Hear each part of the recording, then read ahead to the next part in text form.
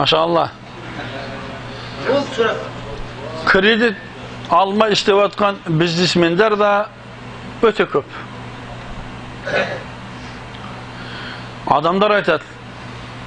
Sen қалайша арақсыз той өткіз деп айтасың сен дейді. Қалай арақсыз өткіземін мен дейді. Адамдар күлмейді ме? Арақсыз той өткізу мүмкін емес дейді. Тура осы сұрақ екеуі бірдей болып жатыр да Adam ешқашан ашынан өлмейді.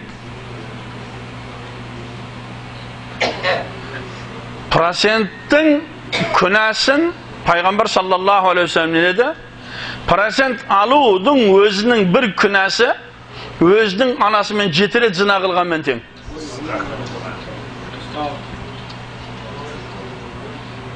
Көресіз ба? Арабтар зачем араб бізге? Қазақ ешқашан процент алып, процент беріп күн көрген емес. Қазақ неше ғасырдан бері өмір сүріп келіп жатыр. Соның ішінде қазақтың неше неше байлары да болған, кедейі де болған, мықтысы да болған, әлсіз де болған. Бірақ бұл нәрсе имтихан үшін беріліп жатқан нәрсе. Дұрыс процентке алып жұмыс істесеңіз, он саусағыңызбен жейсіз. Аллах субханата ар-разақ деген сипаты бар. Ол ар-разақ, ол параллель адам болса да өлмейді. Алла мынаған қарыз, бірақ мынаған қарыз емес. Сол үшін біз әрбір нәрсені өзіміздің қара басымыз деп айтпауымыз керек. Кредит мәселесі әлі ешкімді оңдырған емес. Оңбайды да. Бір жігіттің жаназасында болдық. Ол жігіттің мойнында 12 миллион кредиті болған. Әкесіден мені жаназада біз сұраймыз, мынаның мойнында қарызы болатын болса кім береді дедік. Яғни әкесі шығады, немесе әкесі өлсе үлкен баласы шығады. Сонда әкесі тұрып айтты. Бұның деді кредит қарызы бар деді. Мен өліп қалсам да бермеймін оны деді. Қаласың деді қабірден шығарып ал, не қалмасаң ә, өлігін апарып үйіңе апарып көміп ал деді. Бітті. Қой сол кредит сіздің басыңызға түссе ше.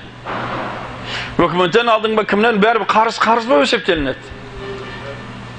Балаң төлей алмаса, қабірдегі ең үлкен азап бірінші қарыздан басталады. Сосын ағайындар ләждің барынша адал жеп, адал жегізіп, өмірімізді өткізсек, бір азғандай қамшының сабындай ғана бір өмір бар. Осы өмірді иманмен өткізді Алла нәсіп етсін. Білмегенде Алла әлбетте кешіреді.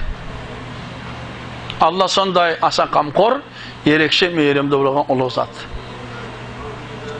Бірақ сол нәрсені білейік, мынаусыз біз қалай өмір сүрем дегенде ықтият болың, үйтіп айтпаңыз. Разақ Алла ол.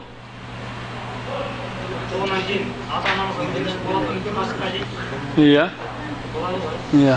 Адамдар өтіп жатыр ғой мұны. Адамдар бәрі өтіп жатыр. Әкесіне, шешесіне, бүтін бәріне істеп жатыр.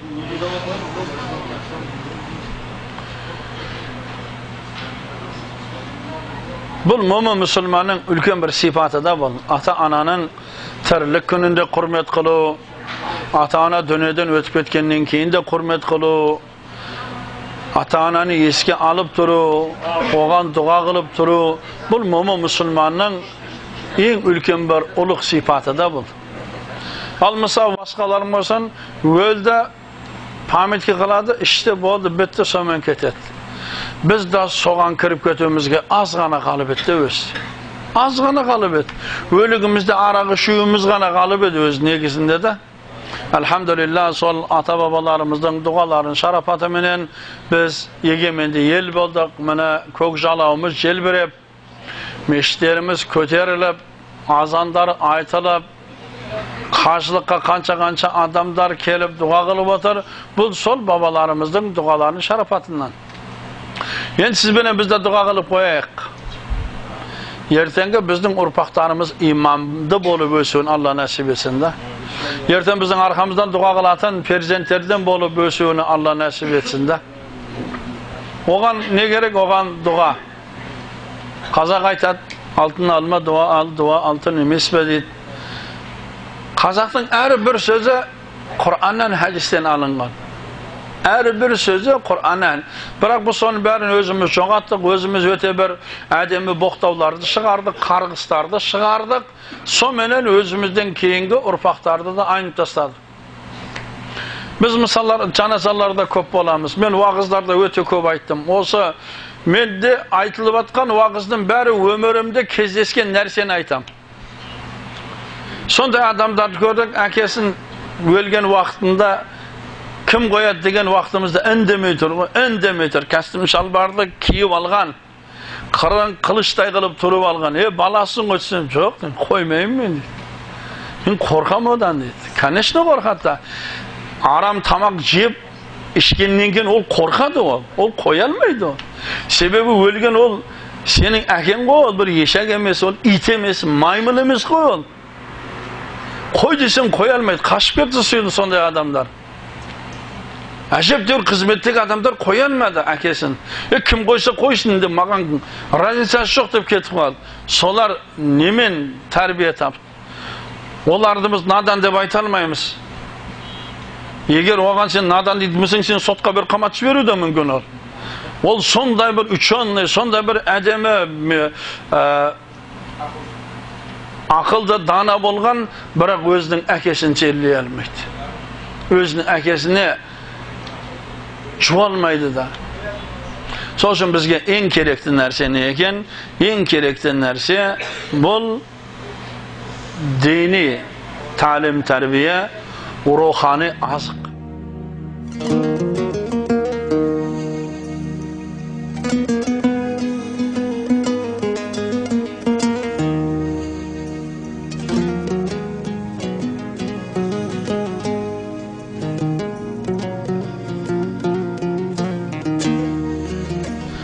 بالله من الشيطان الرجيم بسم الله الرحمن الرحيم الحمد لله نحمده ونستعينه ونعوذ بالله من شرور أنفسنا ومن سيئات أعمالنا من يهديه الله فلا مضل له ومن يضلل فلا هادي له ونشهد أن لا إله إلا الله وحده لا شريك له ونشهد أن محمدا عبده ورسوله أما بعد السلام عليكم ورحمة الله وبركاته Assalamu aleykum kıymetli ağayınlar, ağalar, ahbalar, nişekler. Buna barsanızdan niyetlerinizi Allah kabul kılsın. Ata babalarımızın bahsi jetpegen jerge bizning oyog'imiz yetib o'tir biroq osonchalik nig'mat qaydan keldi sol kechagi ota bobolarimizdan chilab allohga jalbarinib qilgan duosining orqasida bu bu o'z o'zidan bo'lgan yo'q bu o'z o'zidan da bo'lmaydi balkim sol kechagi bobolarimiz açlıktan kançası kırıldı. Kançası cer sürgün kılındı. Biri Resey'e gitti, biri Kıtay'a gitti, biri Türkiye'ye gitti. Sonların köpçülüğü yolda ölgenleri oldu. Onlardan kança kançası dinin alıp kaçtı. Özünün dinin yani Orus gelip жатыр. Qirib жатыр деген уақытында ең кемде дінімді сақтап қалайын. Менің ұрпағым дінсіз болып қалмасын деп тұрып қашқын қанша адамдар болды. Солардың бірі кешегі егемендік ел болған уақытымызда елімізге кіріп келген халиф алтай атамыз болған. Ол кісі құранның тәпсирін жазып міне қазір неше миллиондаған nusxada çıkarılgan kança kança kazak okup atır, faydalanıp atır. Sol kişilerдің ata babaları da dinin alıp kaçkan adamlar. Alhamdulillah sol ata babalarımızın duasının arkasında bizden elimiz egemendi oldu soğuşsuz. Topalansız. Mene 25 yıl oldu. Elimiz tanış, aman. 92 yılı ең бірінші егеменді ел болған уақытында бізден 200 адам ғана қажылыққа келген. 200 ақ адам қажылыққа келген. Оның қанша қаншасы басқа ұлттан болған. Альхамдулилля міне жаңа бір ағамыз сұрап жатыр қанша келді деп. Бұрын ақ жылы бес мың адам келгенбіз. Былтыр төрт мың келдік биыл үш мың. Аллахтан сұрайық иншалла. Мына ішімізде қанша қанша алланың достары отыр бұл жерде ол әлбетте бір имам болу шарт емес сәлде болу шарт емес әлбетте оның сақалы көкірегінен түскен асқан болу шарт емес алланың сондай бір сүйікті пенделері отыр ішімізде егер бәріміз дұға қылсақ сол адамның дұғасы қабыл болып қалатын болса біздің бәріміздің дұғамыз қабыл болады біз сондай дұға қылайық иншалла елімізден жүз мыңдаған қажылар келуді алла нәсіп етсін біз 12 ғасырдан бері мұсылман болған халықпыз. Бірақ мынау индонезия малайзия деген мемлекеттер бар. Бір 150 жыл 200 жыл болған емес әлі исламға келгеніне. Бірақ олардың мемлекеті қазір 80% мұсылман мемлекет деп аталады олар индонезия малайзия экономикасы өте дамып кеткен. Сондай бір дамыған мемлекеттер бар. Олардан бір жылда 150 мың адам қажылыққа келеді. 150 мың индонезия малайзиядан 150 мыңнан адамдар келеді аллахтан сұрайық біздің де ертең халқымыз сондай болып келуді алла нәсіп етсін олар да мемлекет бұны өзінің ең маңызды жұмысына қойып қойған бұны қараңыз да жаңбыр менен жер көгерер дұға менен ел көгерер елден қанша мыңдаған қажы келетін болса біреуінің дұғасы қабыл болса е біздің еліміздің экономикасы да бүтін рухани жағыям сонда бір дамып кеткен болар еді осы мәселені ол малайзияның индонезияның министрлері өте жақсы түсінеді да біздің де сондай министрлеріміз басшыларымыз түсінуді алла нәсіп етсін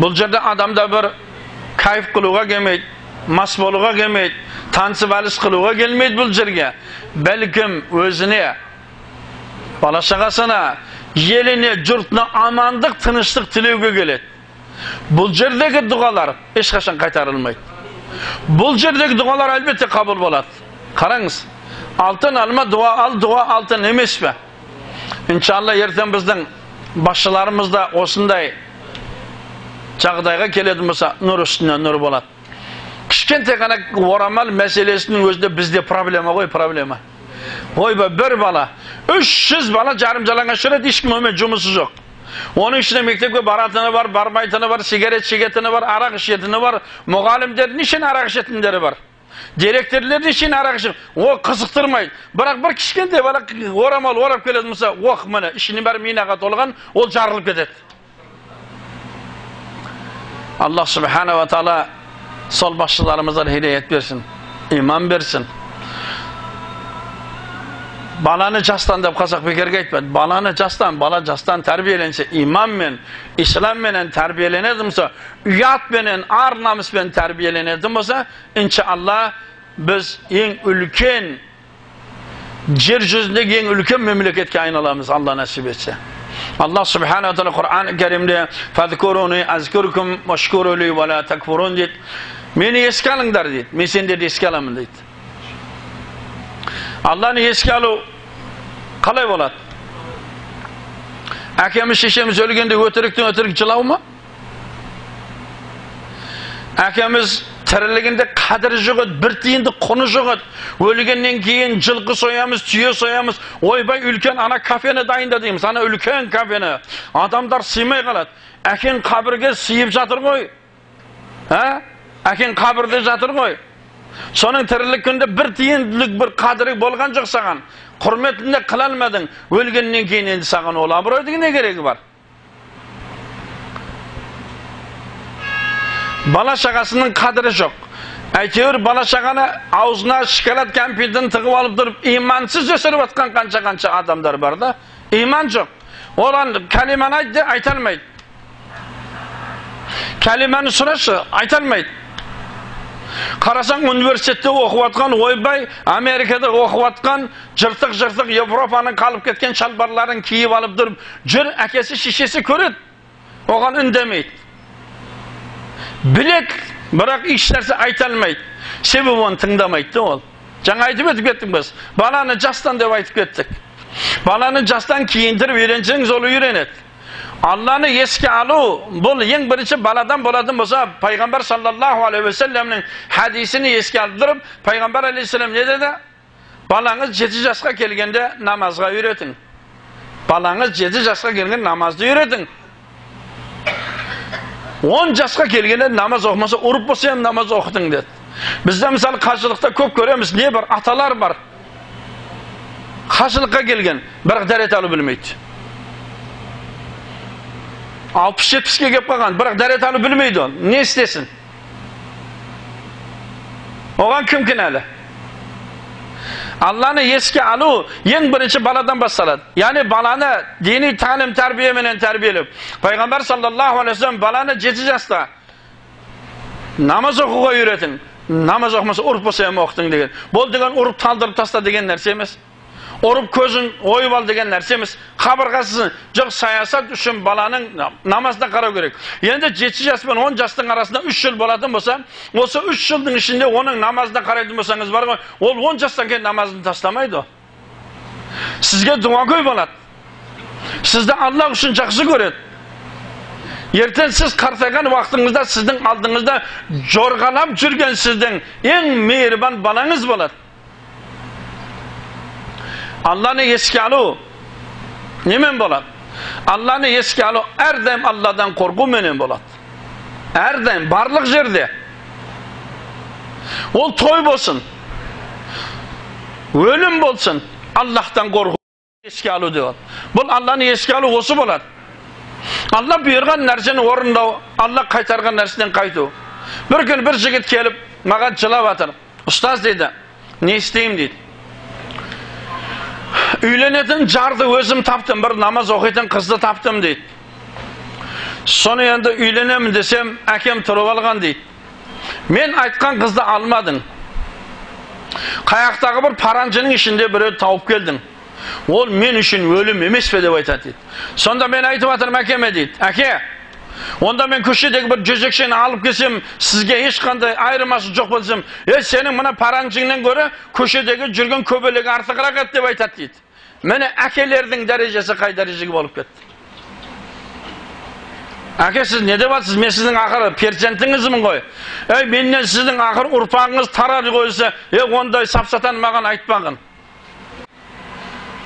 мен ертең столдың бәріне қайтып арақ қоям енді сен өстіп келдің мен араққа толтырам сен төрде отырасың мына қатының паранжысымен отырады мен саған көрсетейін деп әкенің істеп жатқан жұмысына қараңыз да енді бәлкім мұсылман адам аллахтан қорқу керек мұсылман адам әрдайым алла барлық уақытта той болады ма ол өлім болады ма аллахтан қорқу керек бір күн бір жаназаға бардық жаназаға барсақ адамдар ауқат ұрып отыр ғой шарылдатып ұрып отыр аузы басы бәрі май болып кеткен сөйтсе біреулер айқайлап жүр ой пәленшеге мынандай жамбас қоймапсың анаған құдаларға анау қоймапсың өлімде әкенің өлігі жерде жатыр. Қазақ бекерге айтпайды өлі разы болмай тірі байымайды деп бекерге айтпайды. Қазір бізде бай болып кеткен бірақ рухани кедей. Дұрыс ол бай. Оның үлкен үлкен этаж үйлері бар әдемі өте жақсы әдемі машиналар бар бірақ олар рухани кедей. Ол өзінің қойнында қатынады да сөз өтпейді.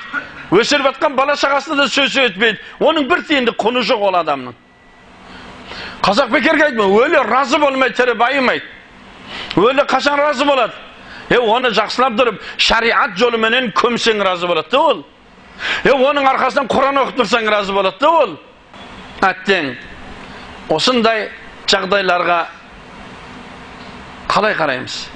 Алла субханала тағала мені еске алыңдар дейді. Егер біз алланы еске алып адалмен жүретін болсақ адалмен тәрбиелейтін болсақ адал өмір сүретін болсақ алла субхана адал перзент беріп қояды ертең қияметте басымызға тас кигізетін перзенттерді шығарып қояды шүкірлік қылыңдар дейді шүкірлік қылыңдар е осыншалық алла субханала тағала мүмкіншілік беріп қойды егеменді ел болғандығымызға міне 25 жыл болды енді туылған бала 25 жасар жігіт болды енді біздің кейбір ағаларымыз айтады біз кеше дейді о россияның анау москваның тәрімімен үйреніп қалғанбыз енді содан бері 25 жыл өтті 25 жылдың бала әрі 11 мектеп классты бітірді әрі армияға барып келіп бітірді 25 жылда дінді үйрене алмағаннан кейін бұл өлім емес пе шүкірлік қылайық біз осы 25 жыл егеменділікті алла бізге көрсетіп қойды сол кешегі советтің заманында жаназа оқылмайтын уақытта өліп кетсек не болар еді бізге? Сондай ағаларымызды көрдік. Әкелерінің жаназасын түнде шығарған уақыттарды көрдік. Түнде шығаратын апарып көметін. Тіпті міне мысалы айт болған уақытында бір күн алдын келеді. Машинаны екі километр жоғарыға қояды. Сөйтеді куфайкелерді басына жаман жаман құлақшын аяғына керзі етікті киіп келіп ата бабасының басына келіп құран оқып жылап жылап кеткен уақыттарды көргенмін сондай уақыттардан біз құтылдық. Мешіттеріміз өте үлкен ашылды. Медреселеріміз істеп тұр. Қанша қанша қазақтың небір қариялары шықты. Молдалары шықты. Мешіттерде азандар айқайлап тұр. Бұған шүкірлік қылайық. Жан жағымыздағы мемлекеттерді көріп жатырмыз айнықса міне кешегі өзбекстан президенті дүниеден өтті алла рахметін алсын халық қандай тозып кетті халық халқының мына жағы америка мына жағы корея мына жағы қытай біздің өзіміздің қазақстанда қанша қанша халқы жүр бірақ қазақтың қазақстан халқы еш жаққа шыққан жоқ альхамдулилля нан іздеп шыққан жоқ бәрі елінде бар еді қарны тоқ еді бірақ бізді той осы тоқтық бізді бұзып жіберді лев толстой бекерге айтпаған мен адамдардың аштығынан қорықпаймын мен адамдардың тоқтығынан қорқамын деген еді сол тоқтықтан секірдік тоқтықтан ата ананы аталар аналар үйіне апарып тастадық тоқтықтан баланы роддомда да тастадық тоқтықтан баланы детдомға да тастадық тоқтықтан баланы күл қоқысқа да тастадық бұның барлығы біздің аштығымыздан емес тоқтығымыздан дінсіздігімізден руханиятсыздығымыздан осы нәрсе келіп шықты егер біз шүкірлік қылғанымыз еді бұл нәрсе болмаған болар еді егер біз шүкірлігім е альхамдулилля міне егеменді ел болдық енді баламды дінмен тәрбиелейін келінімді дінмен алайын баламды дінмен осы үйлендірейін деген мақсатымыз болғанда еді соны амалға асырғанымызда еді біз бұндай бәлеге душар болмаған болар едік түрмеге барсаң балдар тола болуыменен әйелдер де түрмеге тола болып кетті 16 жастан бастап 60 жасқа шейін қатындар түрмеде отыр. Қазақта алдын әйелдердің емес еркектердің түрмесі болмаған еді. Себебі ол аталарымыздың жүрегінде дін бар еді тілінде кәлимасы бар еді пешенесінде сәждасы бар еді. Дұрыс олар генерал емес еді дұрыс олар миллиардер емес еді бірақ олар толық мұсылман еді. Олар құран оқиды мұсылман еді. Олар бата беретін мұсылмандар еді. Олар өз ұрпақтарына иман мен исламмен тәрбиелейтін әжелер еді олар қазіргі әже, әжелердің басында бір түйір шашы жоқ керек десең шүкірлік қылу аллах субханала тағала шүкірлік қылуменен ең үлкен дәрежеге жетеміз біз маған қарсы болма деді аллах субханала тағала аллаға қарсы болма хоп аллаға қарсы болумен неге жеттік бір күні қарттар үйіне барсақ бір кісі бізді қабылдамады кіргізбеді содан бәрі айналып шығып кетіп бара жатсақ ей бала тоқта деді не болды ата дедім енді сендер осы айналып жүрген екенсіңдер сендер молдалар екенсіңдер сендерден бір ғана өтінішім бар айтыңыз біз бұл жерде өліп жаназасыз көміліп кетпейік білмейміз бұл жерде бір жерге апарып көміп тастайды дейді білмейміз жаназасыз өліп кетпейік Құдайдың бергені бар, жоқ емес. Әттең, не деймін? Оған өзім ғана кінәлімін. Бірақ осы жерде қап кетем бе деп қорқамын. Ең кемінде мұсылмандардың мазарына көмілсем, басқа біреулерге қылынған дұғаның да шарапаты тиетін шығар деп өкіріп жіберді. Біз қай дәрежеге жеттік? Қарағандыда үлкен жамағат отыр, мен сұрап жатырмын. Кім әкесін шомылдырған деп жатырмын? Кім шомылдырады деп жатырмын? Әкесін. Бәрі бір-біріне қарай жан-жағына. Ерсі де бұл нәрсе. Кім әкесін шомылдырады деп жатырмын да, кім әкесін? Қартайған әкені кім шомылдырады? Баняға бара алмайды ол бишара.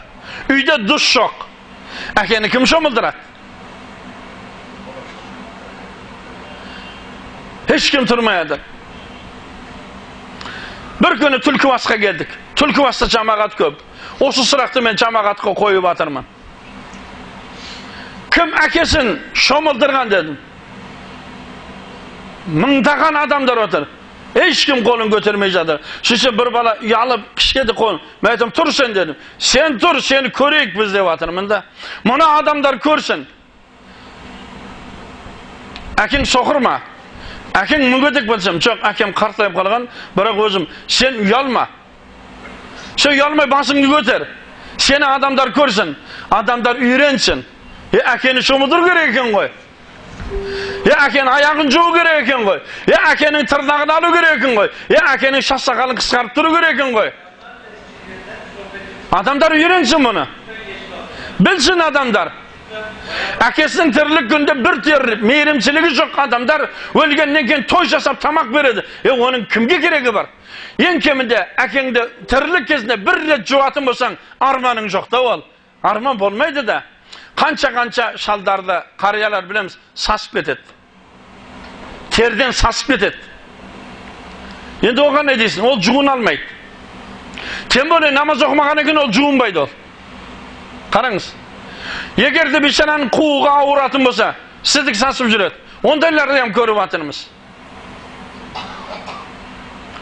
дін бұл жалғыз ғана сақалды қойып алып тұрып бес алты ракат намаз оқып алып тұрып тұрып кете беру емес бәлкім дін бұл өмір дін бұл өмір жаңағы жігітке айтып жатырмын біз әкені ұруды үйрендік тіптен ұялмай да қойдық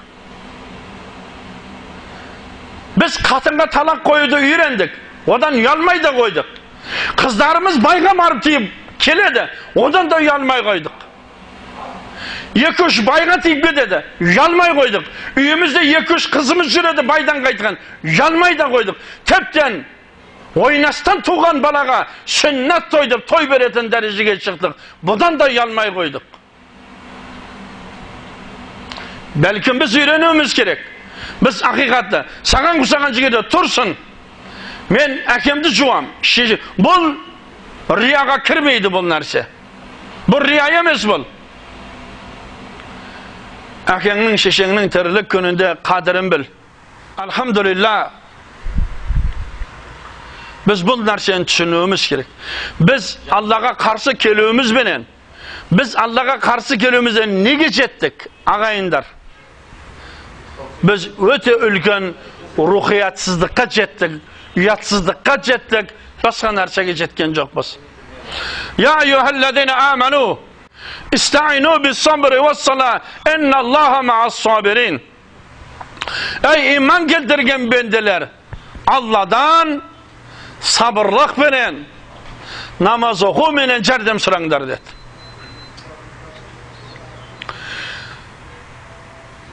Bir günü bir kısa şavulderden geldi. Bana balam arağını taslayalmayadır. Ne kılu gerek olan? Olsun arak taslata deb eshitdik. Yok men arak taslatmayım deb atırım da. Bu ölgen şey işin deb atırım da. Lazımasa arak işi ölsün bu.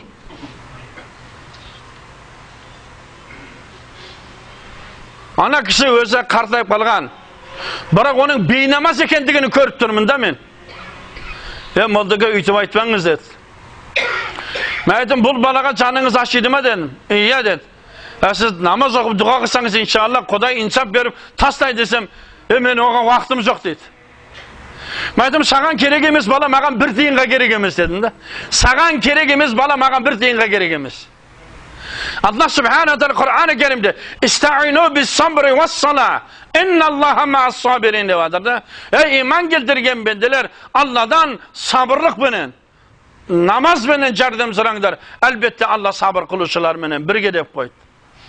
namaz benen yardım sıranglar. Elbette Allah sabır kılışılar benen birge dep koydu. Hakikaten bizim köpçülüğümüzün balamız okumaydı. Kızımız okumaydı. Kelinimiz okumaydı. Kүйö balamız okumaydı. Ne isteyimiz gerek? Allah subhanahu teala bizge öğretip koyup atır. İsta'inu, yardım sıranglar, sabırlık benen. Namaz benen, elbette Allah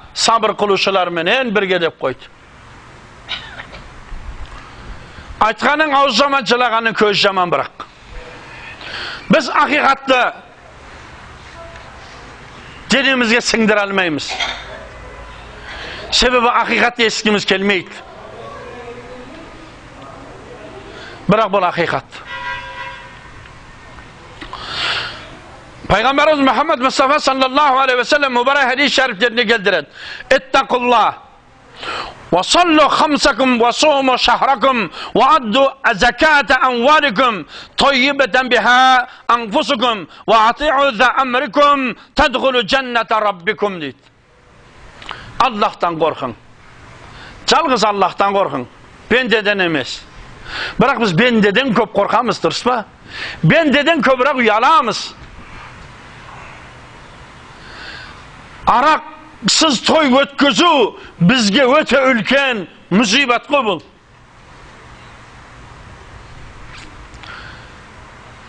Bir kuni bir qashag'amiz kelibdi, kuyib ketgan, o'ta qattiq kuyib ketgan. Uyda jengen yegerде araqsiz to'y o'tkazbesang uydan chiqib ket deb aytib atar dedi. Men aytdim, jengem solay aytib atarma dedim. Iya dedi. Baldarcha dedim. Baldar da eger bizga araqsiz to'y istaytin bo'lsang, sen bizga kerak emassan, ketaver deb aytdi dedi. Men aytdim, "Chaka, Alloh sizga sabr bersin." Бұл қоғам сондай қоғам болды. Бірақ ол қоғамды сіз пайда қылдыңыз. Еді ешкімге арыз айтпаңыз. Жалғыз ғана Алладан сұраңыз, Алладан қорқыңыз. Аллаға дұға қылыңыз. Өз перзенттеріңіз сізді. Өзіңіздің қойныңызда жатқан әйеліңіз сізді. Осыншалық қорғылуы бұл өте үлкен ауыр нәрсе. Men sizga Allohdan jalg'asa hidoyat tilayman. Biroq o'ta qattiq o'ylandim. Ne bo'l? Qarang. Sebebi ular Allohdan emas, odamlardan qo'rqyaptir. Ular Allohdan emas, odamlardan uyalib atir. Ularga Allohning jannati kerak emas, odamlarning maqtagan so'zi kerak bo'lib atir. Ularga qadrli ata emas, abroy kerak bo'lib жатыр. Allah Subhanahu Teala Kur'an-ı Kerim'de ya eyyuhellezine amenu takullaha hakka tukadik ve la tamutunna illa ve entum muslimun. Ey iman getirgen mendiler. Allah'tan şinimen korkunlar. Allah'tan şinimen korkunlar. Müslüman bop ölüngler, kafir bolup ölmengler deydi. Kafir bu ölü ne? Müslüman bu ölü ne? Müslüman bu ölü til kelimede, peşini secdede, cürükte Allah'tan korku cılav, ayak mişti, köz Kur'an'da bulu bölü, bul musulman bu bölü. Bul ülken bir baxt, ülken bir baxt bul karanız. Bir günü bir bağrımız milisiyede, milisiyene mayara sol akam dedi qattiq og'rib жатыр bir dem sap bersangiz dedi bardim barsam 70-80 ga kelib qolgan shal жатыр basına borib o'tirib duo qilib o'tirman сөйтсем жаңағы шал қолымды ұстап отырып жымиып Men qo'limdan kelgancha kalimani aytib o'tirman. Men ko'p Qur'on o'qib edim. Biroq o'lgan vaqtda til kelmay qoladi degandan qo'rqib, кейбір кезде тілдерім айналмай қалып Балам, сенен бір өтініш, Ясин сүресін білсең оқып берші деді. Содан мен чайлап, Ясин сүресін оқи бастадым. Оқывадым бірінші мобинде, оның көздерінен бұлақ-бұлақ жас ағып жатыр. Екінші мобинге келдім, бұлақ-бұлақ жас ағып жатыр. Үшінші мобинде оққан уақытымда қолымды өте қатты من بتردم ولا إله إلا الله محمد رسول الله در جانش الله سبحانه وتعالى قرآن الكريم ده يا أيها الذين آمنوا اتقوا الله حق تقاته. يا إيمان قلت رجم بندلر الله دان شنو من قرخن؟ Korkun. Şinimen korkun. Müslüman bu bölün kafir bolup ölmen deydi. Buna arzımaz, az gana vaqtınça dünyada birovni aldab, birovdan aqın jeb, ata ananın qarg'isini ilinib, dunyodan o'tu eng ulkan azob bunlar. Mana dunyoda rohat bo'lishi mumkin, biroq ertan qabr bor. Ağayınlar biz bilek, bizden yerдің üstünde жүрüğümüzden göre aslında jatığımız köbrak болады. Жердің астында жатуымыз көбірек болады. Болса 70 жыл, 80 жыл, мейлі 100 жыл өмір сүрек. Бірақ неше ғасырлардан бері біздің ата бабаларымыз қайда? Жердің астында жатыр.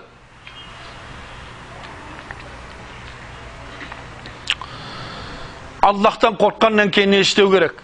Аллахтан қайтып қорқу керек. Хамсакумда бес уақыт намаз оқу керек. Бес уақыт намаз. Бес уақыт намаз міне. Біреулер айтады, мен намаздың қоразын оқимын да деп қояды. Қалай қара қоразын оқисың? Мен азанғы бамдатты оқимын деп қояды.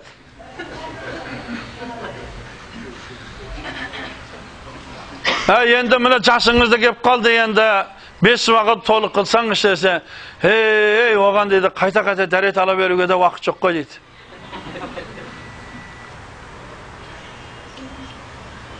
дейді бұл өте қиын нәрсе alloh subhanava taolo mo'min musulmonga iymondan keyin besh vaqt namozni farz qildi. Payg'ambar sallallohu alayhi vasallam namozda turib o'qing deydi. Turib o'qing. Shariatda hech qanday qiyinchilik yo'q. Turib o'qi jaramaysinmi o'tirib o'qi. O'tirib o'qi. Jaramaysinmi jambastab o'qi jambastab o'qi jaramaysinmi shalqancha jatib o'qi odan keyin namoz farz emas. So'ngan keyin namoz farz. Endi ana birovlar aytadi men deydi quvug'im istamaydi deb qo'yadi ko'kparga boradi azondan kechga cheyin o'tiradida ko'kparda ko'knarni ishib oladi ayqayda ayqay e daretga chiqmaydi или o yerga pampers kiyib boradimi uyat yo'qda uyat yo'qda ana uyat оның жастығымен кетіп қалған оны. Онда ұят деген е мен кәрі болдым ғой шал болдым ғой ибрат болайын деген нәрсе жоқ қой. Бес уақыт намаз. Ұл балаға 12 жасында парыз. Қыз балаға 9 жасынан парыз. Өкінішке орай болсын. Біздің ағаларымыздың жасы нешке келді. Алпысқа келді. Алты жасар баладай жүр ғой. Алпысқа келген әжелер жүр. Шашын шаштаразға барып боятып алып кешке тойға баратын едім деп. Сенен қандай бала шығар еді? Сенен қандай немере шығар еді? Ертең сенің басыңа кім құран оқитын еді ертең қабірде жалғыз қалған уақытыңда өкінбей ақ қой себебі сен өзіңнің арқаңнан ешкімді тастаған жоқсың бес уақыт намаз бұған өте қатты мән беруіміз керек пайғамбарымыз мұхаммад мұстафа саллаллаху алейхи уассалам айтады Eğer sizlerden üylerinizin altında bir özen ağatın olsa, sol özende bir günde beş lira çomulatın bolsanız, denenizde kir kaladı mı dese, çok ya Resulullah kalmaydı. Kimde kim bir günde beş lira namaz okuydu olsa, onun künası kalmaydı dedi. Beş vakit namaz okuyan adamda günah olmaydı. Allah subhanahu teala Kur'an-ı Kerim'de ve akimus salah enne salate tenha anil fahşai vel munkar dedi.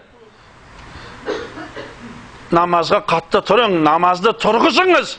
Namaz bütün bızıklaş жұмыстардан kaytarat deydi. Mümin Müslüman adam namazga öte katlı katalı bolu gerek. En ülken bakıt bul namaz. En ülken bir bakıt bul namaz. Kibirler aytat. Men özü içpeymin, şekpeymin, ayellerge barmaymin, kumar oynamaymin. Men tölgün namaz okumayım deydi. Özüm öte жақсы адаммын өзі деп қояды. Жоқ, осы төлгі намаз оқымағандығың үшін iflas боласың. Осы төлгі намаз оқымаған сен ең төмен адамсың. Namaz okumagandığı için en imansız adamsın. Sen Peygamber sallallahu aleyhi ve sellem adam zattın denesinde bir bölek yet var. Eğer sol et düzeletmişse adam zattın barlık yer düzelet. Bilip koyunlar ol cürek dedi. Cüregim taptasa degen bu dalbasa әңгіме bu. Жүрегі таза адам ең бірінші намаз оқиды. Жүрегі таза адам ең бірінші Алланы таниды. Жүрегі таза адам ең бірінші пайғамбарды таниды. Жүрегі таза адам ең бірінші пайғамбарды хадисін біледі. Жүрегі таза адам ең бірінші Аллахтан қорқады. Кеше жақында мына осы Мәдинеге келген уақытымызда бір 8 жасар бала қари болыпты да. E кім қари қылған деп жатырмын да сөйтсем оның шешесі бар бірақ шешесі басында өскен яғни рак мидан рак болған балаға құран оқытады сөйтсе адамдар саған бүйтуге болмайды саған үйтуге болмайды бала жас бала бұл құран оқи алмайды қойсайсыз жоқ менің бүтін арманым осы жас өтсем де бір баланы қари қылып кетем ертең мына бір фитна заманда өмір сүргеннен гөрі ертең алланың алдында жәннатта осы балам маған таж кигізген уақытта өткен өміріме ешқашан өкінбей кетемін дейді мая миы рак болған әйел баласын сегіз жасар балаға құранды үйретіп қари қылған сіз бен біз көзіміз машинаның фарындай денсаулығым ұрып тұр деп мақтанамыз бірақ бір қари баламыз бар ма бір сауатқан баламыз бар ма қызымыз бар ма жоқ өзіміз ше өзіміз кімнен кейміз мақтанғанда шалбарымыз жыртылып кетейін дейді намаз момын мұсылманның мирачы болады Peygamberimiz Muhammed Mustafa sallallahu aleyhi ve sellem mübarek hadis-i şeriflerinde ve sallu hamsakum beş vakit namazga öte katlı bolun deydi. Kazakta bekar aytmaydı. Bey namazdan key namaz zaman deb. Maylı Hoca atamız aytadi. Bir namazda bir namazga qo'shuv бұл адамның ең төмені деп бәлкім осы бес уақыт намазға сіз бен біз өте қатты қатал болуымыз керек уасуму яғни бір жылда бір ай оразаны тұтуға қатты тұрың бір жылда бір ай міне альхамдулилля кеше ғана ораза шілденің айында болды ауыздарымыз кеуіп кетті бірақ күніміз өтті ораза тұтқандар өліп қалған жоқ дұрыс па не бір шалдар не бір кемпірлер ораза тұтты бір күні сарыағаштың базарында кетіп бара жатсам бір кемпір әй балам бері кел деді жайлап бардым ассалаумағалейкум апа уағалейкум ассалам сен молдасың ба деді ә айта берің не болды дедім dedi 84'ke keldim dedi. Men ömür orazamdı tastagan emesmin dedi. Qarang da. Ömür orazam tastagan emesmin. Biroq bir 5 yıldan beri sahırına diyabet болып kaldım. Şütüp edi men de asıqıstanıp, oy onda siz oraza tutmasanız da bolar eken. Yani kar adam ol. Sana kafaratını berseniz, evet toxta dedi, sen benim orazama aralashma dedi. Sen benim orazama aralashma dedi. Men de do'sa o saharni diabet bo'lgandan keyin sho'ldayim. Og'zimni suvмен shayib tursam bo'ladimi dedi. Men aytdim, bo'ladi dedim. Endi bak ketaver endi dedi. Biroq bizning ne bir erkekler var yezden tömende. Yezden tömen. Sonday bir analar var. Qarаңыз, saharni diabet. Saharni diabet degan auru hozir butun dunyodagi nomer 1 auru bu. Suv ichmasa tura olmaydi u. Suvsiz mumkin emas. Qayta qayta suv ichadi. Biroq 5 yildan beri saharni diabet bilan avram dedi. Ağzımda sol sho'ldigan vaqtda shaytsam bo'ladi. Bo'ladi desam, barant ketaver deydi, qarangizda. Sebebi olar şinimin ecelerde olar. Olar ibrat alatın ecelerde. Keşeki Kunanbay'da deretsiz yemizgen ecelerde olar. Solardın talimin algan. Solardın terbiyesini algan. Ecelerde olar karаңыз. Ramazan бұл Allah suygan bendelerge nasip etетін uluk amalda o. Bir gün Ramazan ayının başında geldim. Halk mı oturmuş jinalıp. Ben aytarım inşallah bana oraza geldi ağayınlar. O kutlu bolsun, kutlu bolsun. Dayınsızlar mı deyip atır bunda? E, dayınbız dayınbız. Ha, ne dayın? Bir, bir kap gürüş geldiniz mi? Gürüşte talkandı bärin, kazını dayındap koyganбыз. Sizler de siz dayındalgan çıkarsızlar. Жақсылап өткізген шығарсыздар, дұрыс па? Талқанды түйіп жақсылап. Сәресті ұрып тойып алып, аш қалмайтындай. Ауыз ашарда одан беттер нығыздап бүтіндей қылып алып. Мен оразамы деп консерінің астына тығылып алып, біреулер тауға барып тұр ораза тұтып еді. Жоқ, ол ораза ондай емес. Ол ораза ол ондай болмайды. Бәлкім оразада adam ruhani terbiye alat. Ramazan ayında Rama orazda üç farz var. Üşüden tiyilu, cevden tiyilu, cins katnastan tiyilu. Aldığınızdan ebbek su, ne bir kola, ne bir fanta var. İçmeysiniz de, siz içeceğiniz ağzınızı bir ayırıp taslamaydı. Bırak siz Allah'tan korkasınız. Tepden buzuk söz söylüyor Allah'tan Gaybat kuluğa Allah'tan korkasınız. Bir ay özünüzü osындай talim terbiyemen terbiyeleyişte qarang. Bunda ülken terbiye, eşkanda koğamda, eşkanda siyasatda, eşkanda bir memlekette жоқта. Бұл жалғыз İslam'da gana bar bolgan talim ve terbiye. Peygamber sallallahu aleyhi ve sellem 23 yıllık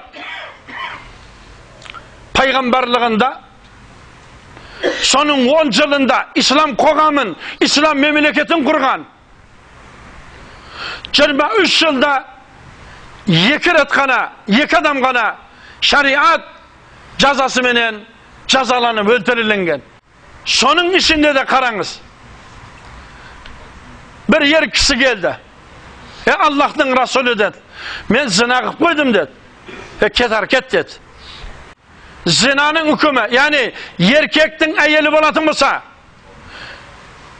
ayeli bola turup zina kılgan bolsa oy nasıl kılım onu tasbaramen öldüret. Ayeldi de sonday. Eğer uylenbegen bolsa turmuşka çıkmagan bolsa qarаңыз onu derreleydi. 80 derreden 100 derre geçen derreye uğrat. Endi bunu uylenip koygan erkek edi. Oyna sıkıp koydum ya Allah'ın peygamberi debede hareket et. Közümü kırıp hareket et. Ya Resulullah dedi. Meni şeriat zаңымен жазалаңыз dedi. Onlar da iman so dereceye alıp gelgen et.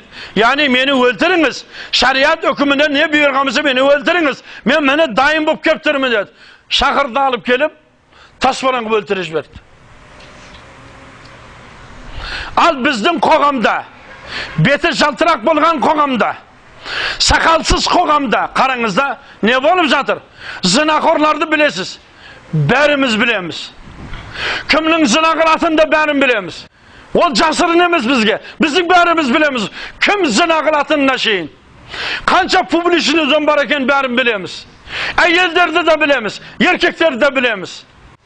Birak ol jerde tike keldi de men zina kılıp koydum. Meni şeriat cazasымен jazalaňyz dedi.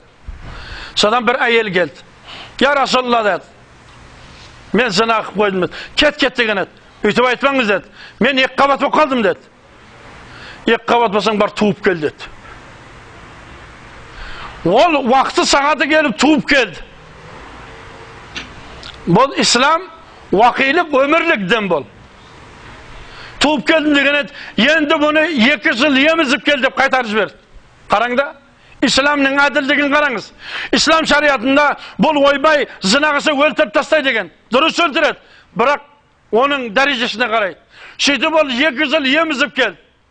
Yen kızını yemizip geldi dedi. Yendi bunu amanat kılıp biriге tapsırıp geldi dedi. Amanatga tapsırıp geldi. Sodan keyin onu tasmalan kılıp öldürdü. Sonda жаңағыны әйелдің қаны Omar ibn Hattab'tың көйлегіне там кетіп еді. Е Аллахтың ләнеті болғыр деп еді. Ей деді Omar dedi. Өйтіп боқтама бұны деді. Алла бұның бәрі күнәсін кешіріп жіберді деді. Біздің қоғамда қанша-қанша қылмыскерлер біреуді атып қойып, немесе ұрлық қылып қойып, қашып жүрген қанша-қанша адам. Жоқ иман адамды осы дәрежеге алып кеп қояды.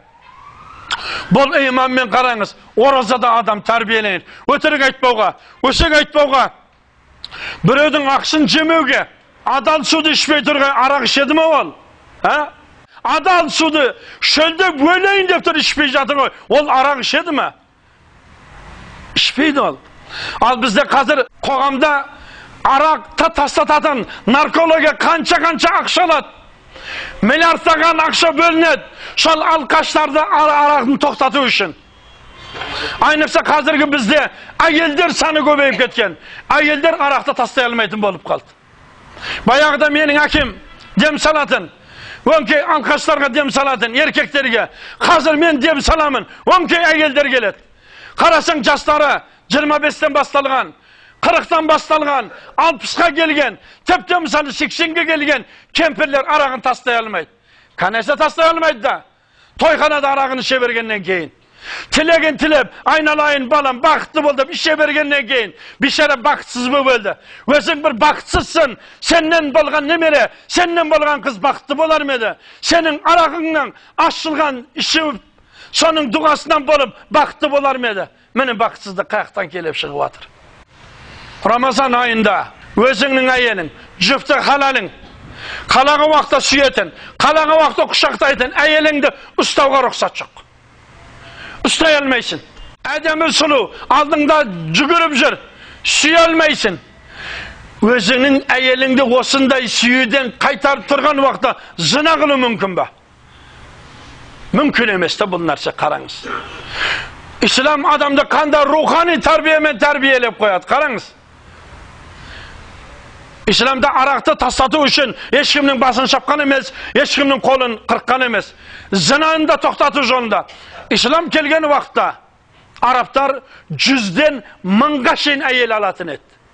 Жүзден мың әйелге шейін алатын еді ол қоғамда.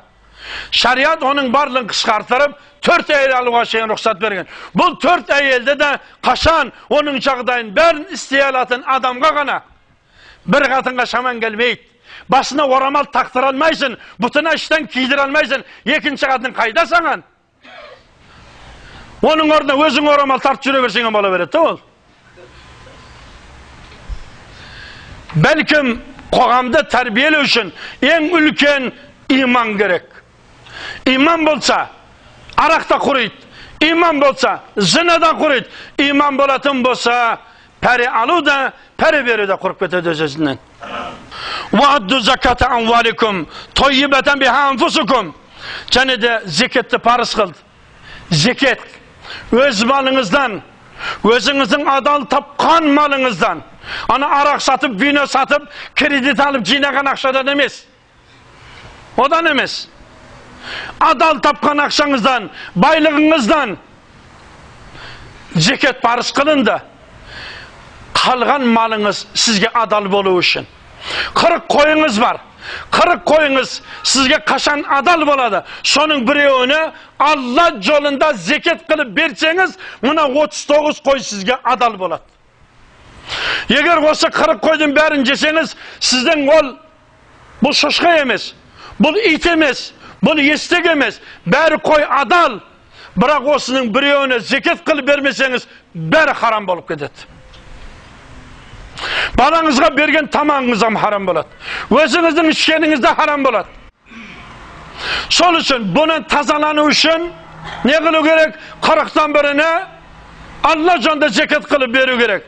Zekat sözünün manası ne? Zekat sözünün manası maldı saktau, maldı köbeytiru degen. Zekatın berilgen mal orlanbaydı. Zeketi berilingen mal çoğalmaydı. Zeketin bergen bay bankrot bolmaydı o vakta şeyin. Bankrot bolgan emes. Nege biz bırak bankrot bola veremiz? Nege malımız urlap kete berede? Demek sol malımızda haram nerse var. Haram nerse kirip bedet. Sol için maldı jinavda. Öte sak bolgan jön. Öte sak bolgan jön maldı jinavda. Bir günü tünde uyga bir adamlar keldi. Sodan sizde bizning bastık chaqirib atır dedi. Hey senin bastığın kim? Bargandan keyin ko'rasin dedi. Ha, Men barayın dedim saat tungi 2'de.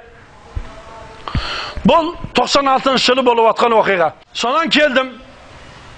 Qarasam bir et Çimkent'te. O Çimkent'te жақсы bilmeyim ol gezde. Ülken bir kasırlagan uyga kirdim. Kirib kim atırmın? İşkeride kalat kiyip algan жаңағы бастықсымақ отыр. Bir көзім жерде жатқан бір нәрсені көрдім.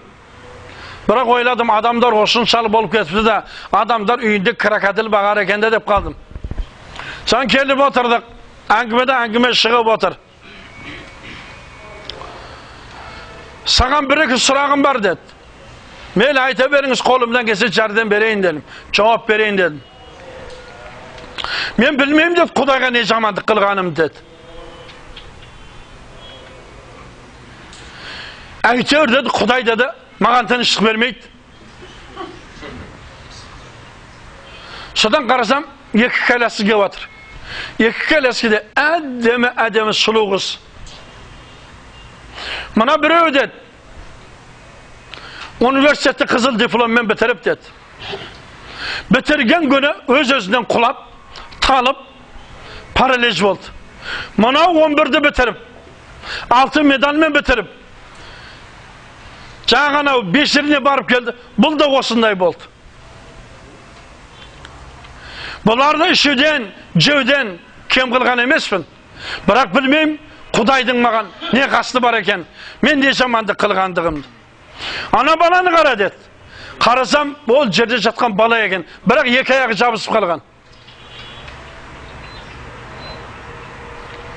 Сонда мен жаңағы кісіге бетіне қарап тұрдым да, сіз дедім біріншіден Құдайға жамандық қыла алмайсыз. Құдайға жақсылық та қыла алмайсыз. Құдайға не жамандық қылдым, не жамандық қылдым дейсіз.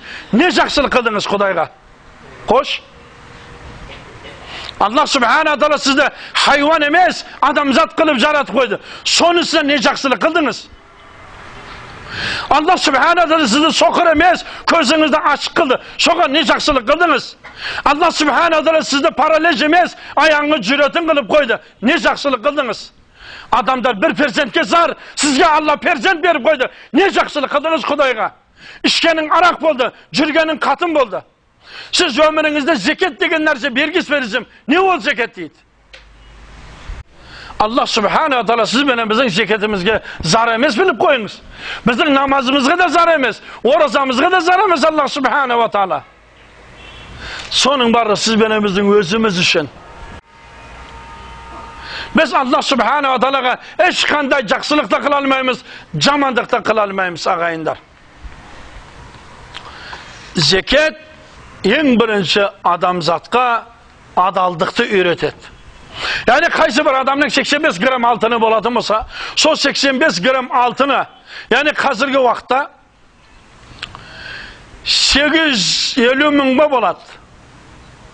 Алтынның грамм егер қаншаламыз ба сегіз жүз елу мың ба болу керек elə ода 2200 доллары бар адам зекет береді яғни бір жылдық оборотта айналса қырықтан біріне беретін болса қалған дүниесі оған адал болып есептелінеді былай айтқанда пайғамбар саллаллаху алейhi айтады өз басшыларыңызға бойсыныңыздар міне осы яғни аллахтан қорықсаңыз бес уақыт намаз оқысаңыз оразаңызды тұтсаңыз зекетіңізді берсеңіз және де өзіңіздің шыққан басшыларға бойсынсаңыз тадхулу джанната раббикум дейді раббіңіздің жәннатына кіресіз деп қойып отыр міне осы амалдарды істесеңіз раббыңыздың жәннатына кіресіз тіптен осы дүниеде де қорлық көрмейсіз осы айтқандарды істейтін болсақ сіз бенен біздің бала шағаларымыз да иманды болады сіз бенен бізге мейірбан болады адал жеп адал ішкен бала ол адал болады әкеге адал болады шешеге адал болады әкесі шешесі қартайғанда қарттар үйіне апарып тастамайтын болады көшеде зінақорлық қылып ойнастан туылған баланы детдомға апарып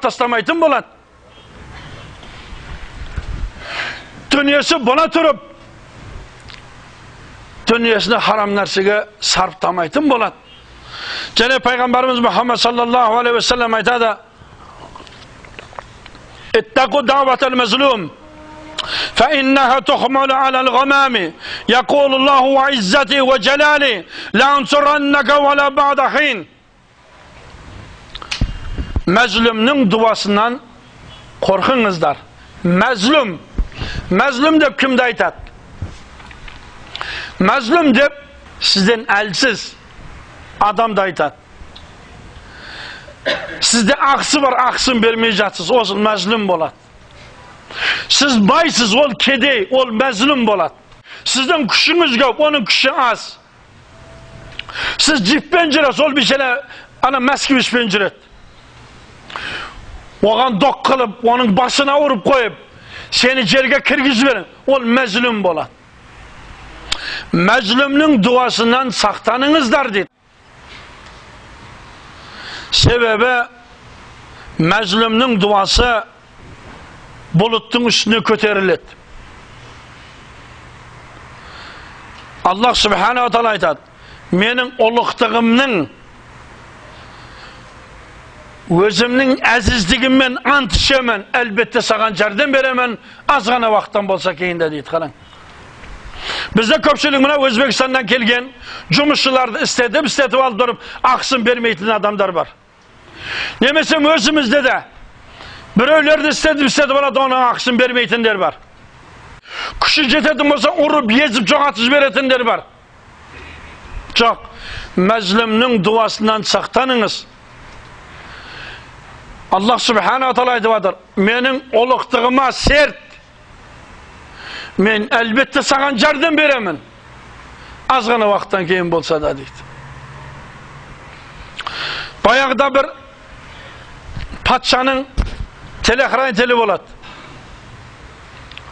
Өте абыройлы, өте күшті. Жаңа бір күні келіп жатса, бір балықшы балық сатып тұрған болады. Ей балықшы, мына балық қанша? Мынанша. Мағанша дейді ғой. Мына дөкейлер өстіп сөйлейді.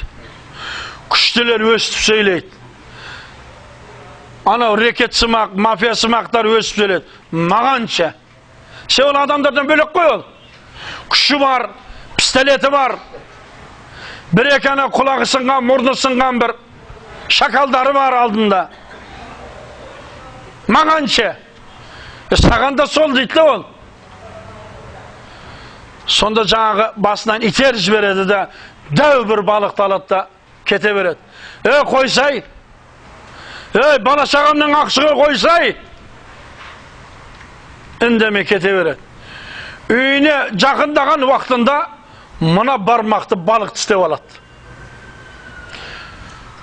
Жіппен орап алады да балық тастады үйге келіп, ішпішін бәрін жарып, тазалап, жақсылап тұрып оны жейді. Қарны тойып жатса, қол қақсай бастайды. Ай, болмады, болмады, ақыр болмай тұрып, дәрігерге барады. Dərgər qarab duradı da mınan kesmesek olmaydı deydi. Бұл азап тоқтамай жатыр. Ойбай кессең кес дейді. Кес тастайды, тоқтайды. Үйге барып жатайын десе, екінші бармақ қақсайды ғой. Өстіп қойын ки, мына қол бармақтың бәрі кесіліп бітеді. Білекпен кесіліп кетеді. Тірсектен кесіліп кетеді. Тіптен мына желкеден кесіліп. Телекарайдан таңырып та қалмайды бишарада. Қолдың бәрі кесілген. Желкеден кесілген. Әбіржіп кеткен. Bir күні bir vali adam kevatsa жаңағы палуан адамды ей палуан не болды саған ha білмеймін осындай осындай қолым осындай болып қалды. А әй әйтеуір біреуді ренжітіп қоймаған ба едің? Жоқ жоқ жоқ. А біреуді ренжітіп қойсаң қиын болады. Егер ренжітіп қойсаң кешірім сұрап қойған мейлі ме дейді? Бұл ойланады да бірден балықшы есіне келеді. Бар балықшыға барады. Балықшыға барып ассалаумағалейкум уағалейкумассалам мені таныдыңыз ба? Жоқ таныған жоқпын сізді дейді о сенің ана балығыңды тартып алып кеткен мен едім ғой. Ай сенің қолың бар еді ғой. Сол қолдан айырылдым ғой мен. Сен не деп қарғаған едің дейді ғой. Сонда айтады. Е аллахым адал бейнетпенен адал терімменен бала шағамды бағып жатыр едім. Мына зор менен тартып алды мынаны. Е аллахым осының жазасын өзің берші сен одан да зорсың ғой дедім деді ей балықшы ақыңды алғанда менен разы болғын деді разымын деді сөйтіп жаңағы уәли адамға барды уәли адамға барған уақытында есіме түсті бір балықшыны зорлап тұр балығын алып кетіп қалып едім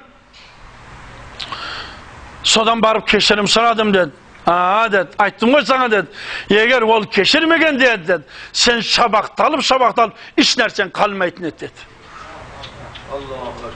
мына бізде әкім сымақтар бар ана фирманың басшысы сымақтары бар өз жұмысшыларының ақысын жейтін соларға да осы азап бар иншалла осы азап бар осы азап бар себебі біреудің ақысын алла біреуге жегізіп қоймайды алла біреудің ақысын біреуге жегізіп қоймайды қараңызда біреудің ақысын жеп оның қарғыс дұғасына іліп қалмаң оны мәзлүм дейіледі мәзлүм деген бишараның ешкімі жоқ та менің прокурор көкем бар кембі жәкем бар ұр тоқпақ шакалдарым бар сындырып тастаймын ол бишараның ешкімі жоқ та ол бишараның ешкімі жоқ бірақ оның раббысы бар итті де қорламаған ұлыса еститін раббысы бар дейді қараң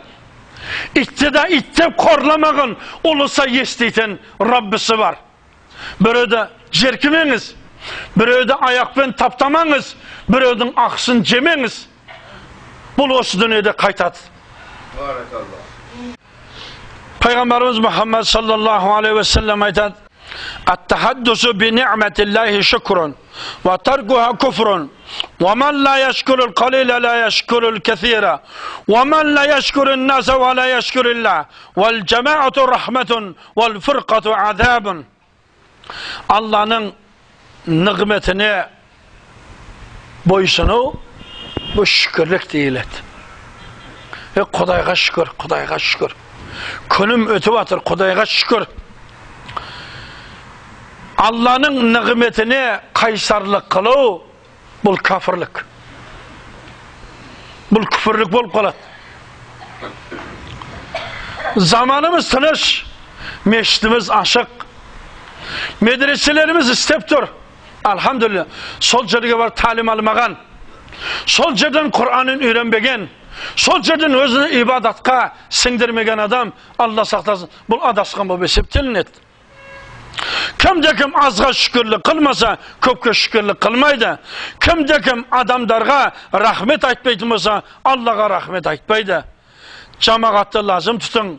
Жамағат алланың рахметі. Ажырау ісі азап. Бұны біздің қазақ екі ақ сөзбен түсіндіреді, бөлінгенді бөрі жейді дейді. Айнықса халықтың арасында бізде қазір намазхандардың арасында бөліну деген нәрсе көбейіп кеткен. Иншалла еліміздің ынтымағын берсін. Жамағатымызды Алла мықты қылсын. Алла субханатыр ынтымақ бірлігімізді берсін. Yanzurullahu ileyhime yevmel kıyame katir rahim ve caru su iki нәрсе бар алла оған қарамайды қияметте оның ең біріншісі ағайын туған туысқанды үзіп қою ағайын туған туысқанмен араласпай қою әкеңнің інісі бар әкеңнің ағасы бар шешеңнің ағасы бар шешеңнің інісі бар шешеңнің әпкесі бар шешеңнің сіңілісі бар бұлар ағайын деп аталады пайғамбар саллаллаху алейхи уассалам міне иншалла ертең арафатқа барамыз сол арафатта көресіздер арафатта дұға қылынатын жер арафатта тұрған адам анадан туылғандай пәк болып есептелінеді сахабалар менен жиылып отыр еді пайғамбар алейхисалам айтты кімде кім ағайын туған туысқанын үзіліп қалған болса бұл жерден кетсін деді дұға қабыл болмай ағайын туған туысқаннан үзілген адамның дұғасын намазын оразасын алла қабыл қылмайды. Сонда бір жас бала тұрды да кетіп қалды. Бір күні пайғамбар саллаллаху алейхи уассалам жаңағы жігітті көріп қалды. Ей әне күні арафатта отырғанда өстіп өстіп айтып едім сен кетіп қалдың тыныштық па деді. Е алланың пайғамбары деді. Менің әкемнің жалғыз әпкесі бар еді. Шешем екеуі ұрысып қалып шешем оны бізден бездіріп жіберіп еді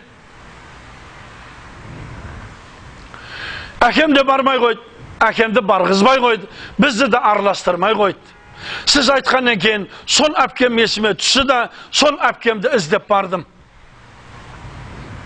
әпкем мені көре салысыменен жылап жіберді ой менің бауырым келді ғой ой менің бауырым келді ғой тыныштық па неге келдің не іздеп келдің сені кім жіберді деді мен де жыладым е әпкетайым әкемді шешемді бізді кешіріңіз пайғамбар саллаллаху алейхи уассалам айтты кімде кім өзінің ағайын туған туысқаныменен үзілді кесілді қылып қойған болса оның дұғасы қабыл болмай қалады біздің арамыздан кетсін дұға қабыл болмай қалады деді содан кейін мен келдім сізді іздеп деп еді жаңағы әйел жылап тұрып сеған деді пайғамбарлық қылған оны пайғамбар қылған алладан басқа ешқандай тәңірі жоқ мұхаммед оның елшісі деп иман келтірді айнаса біздің бұл көбірек әйелдер қауымынан көп шығады бұл нәрсе кешіресіздер.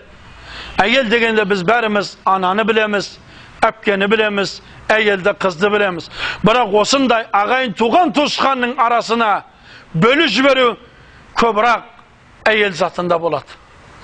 Ажырасып жіберу барғызбай қою келтірмей қою. Ал бірақ қазіргі 21 ғасырда бұл сәләфи ағымында бар бұлар.